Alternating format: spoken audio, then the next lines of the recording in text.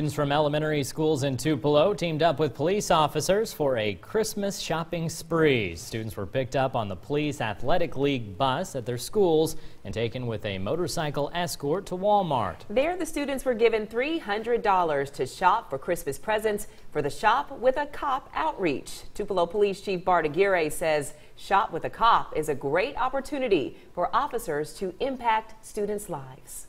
Just on the ride over, you know, when we were picking these kids up at school and, you know, we gave them a police escort and everything. They were just thrilled, you know, just with the, the whole fanfare of it. I mean, they're, they're the focus of this whole thing and, and they know that now. So.